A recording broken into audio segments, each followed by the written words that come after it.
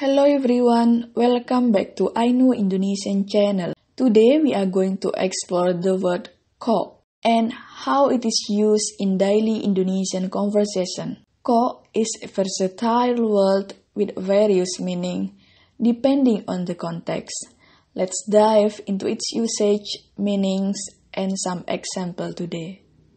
First, ko is often used to express surprise, disbelief, or to emphasize statement. For example, kok bisa? How is that possible? Another example, kok dia tahu rahasia kita?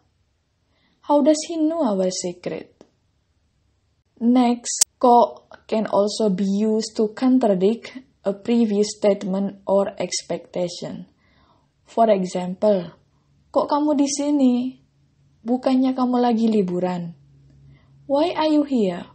Weren't you supposed to be on vacation? Another example, kok kamu belum siap-siap? Kita kan sudah telat.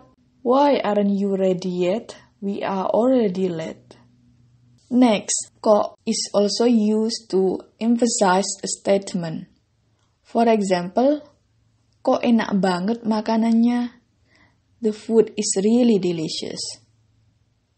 Another example, kok dia bisa nyanyi sebagus itu? Suaranya luar biasa.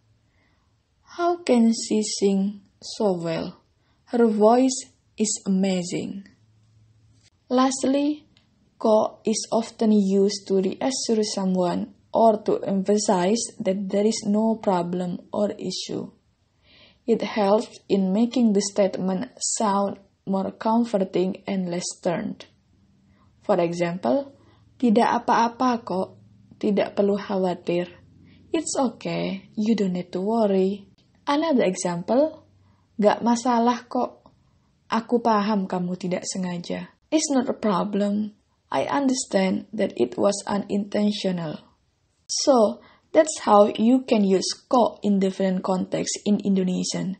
It's small word, but it can significantly change the tone and meaning of your sentences.